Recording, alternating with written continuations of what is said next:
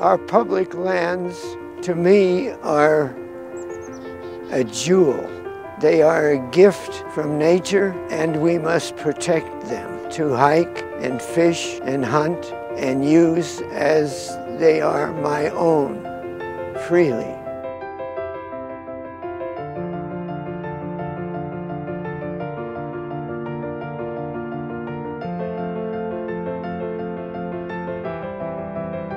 Tell Ryan Zinke to act like the Montanan he says he is and protect our public lands.